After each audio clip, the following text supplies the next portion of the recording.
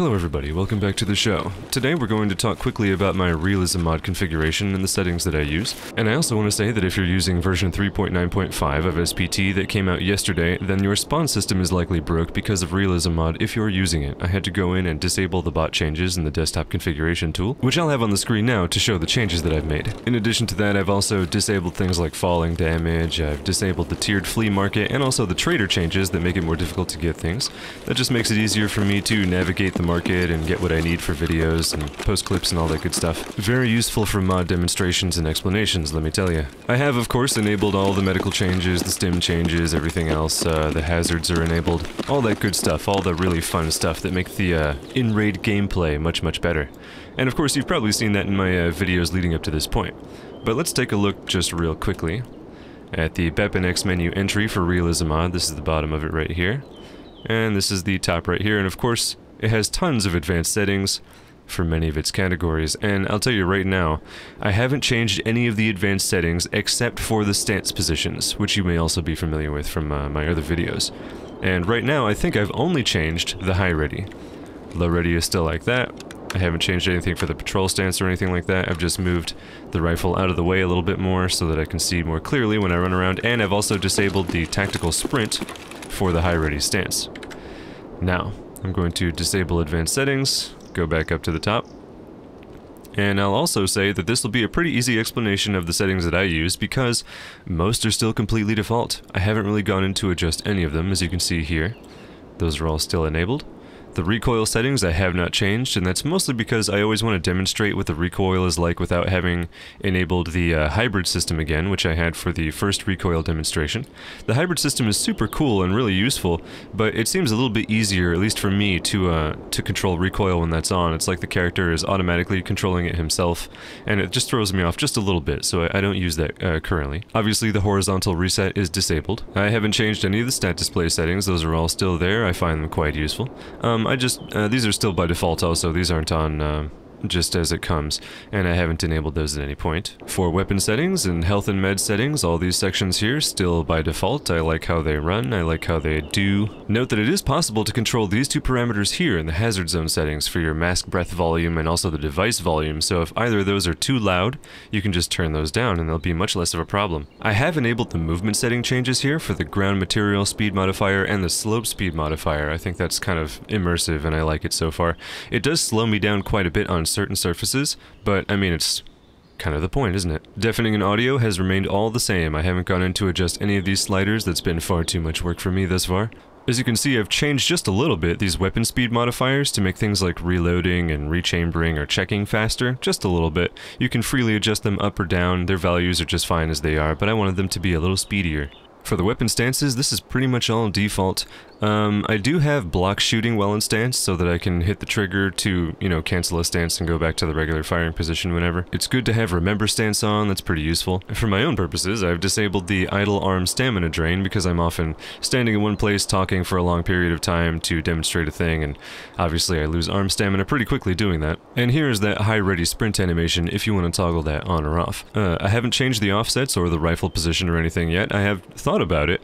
Um, I've got some plans for that in the near future just to see if uh, I can do something fun with it, but uh, other than that, nothing so far. And of course, the weapon stances keybinds right here.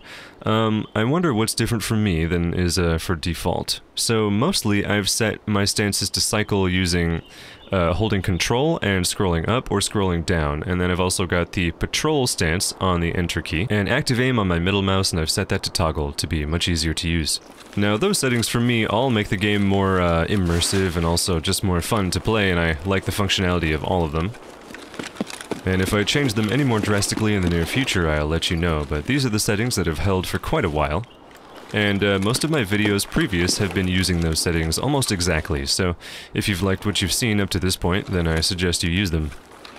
Now, you will find that if you attempt to freely adjust these stance sliders that you can move your weapon and arms in bizarre ways and turn your character into a clipping pretzel, so just be careful with that. The, uh, the steps on those sliders are rather large, and it's easy to just, like, throw the arms of the weapon uh, very far away from your actual character model. Also, if you are wondering what I like to carry in my medical first aid kit right here, Typically, I'll carry everything that I find on PMCs and scavs um, and just hoard it with me for the rest of eh, however long it lasts. It's good to have AI2, obviously, for toxicity and radiation.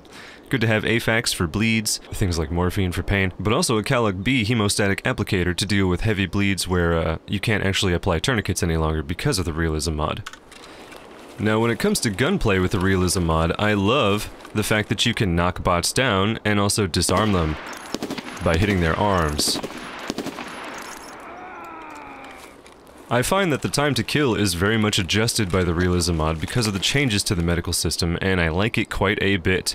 Um, oftentimes, if I get a good shot on a bot, um, if I've ambushed them and they're not ready to respond to me, they simply can't react if I've actually hit them, because they're suddenly dealing with such magnitude of injuries, and also the need to, like, retreat and heal if they have any medical items, that uh, they just can't fight back properly anymore. Obviously, that's a good thing for me.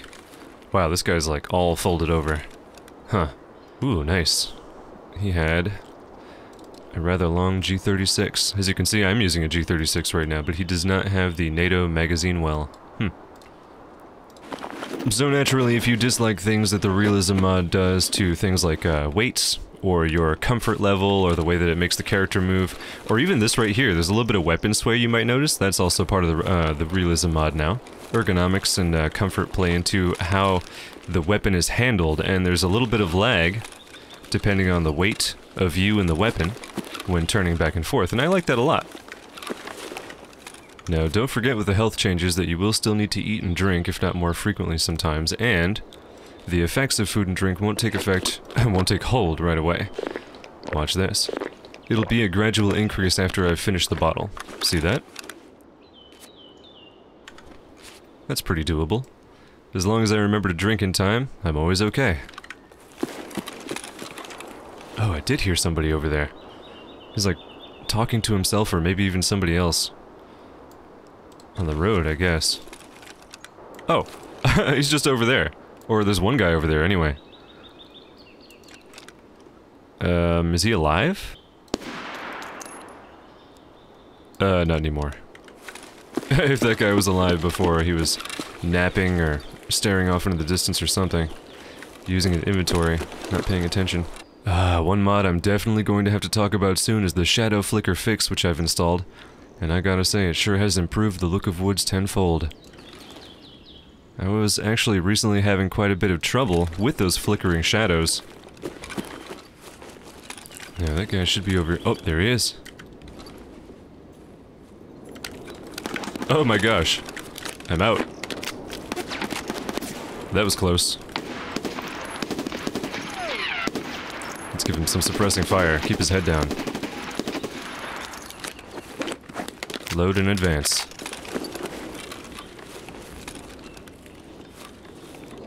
Oh, did I get him? Was my fire effective? Nope.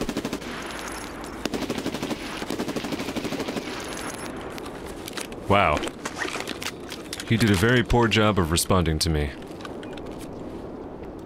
Uh, he only had a very damaged Saiga 9. Maybe he wasn't all that capable of fighting back in the first place. wow, very little. Just a dorm key, 303. Bandages and other painkillers and things are always good to find. Alright, and those are the settings that I'm currently using for Realism Mod. Now it's time to run away and start on another video because there's so much to cover. A bunch of mods were recently updated and of course SPT 3.9.5 being out changes things as well, so expect another video very very soon. Let me know in the comments what else you'd like to see and if there's anything else about the Realism Mod you would like me to demonstrate or go over, and I'll see you very soon.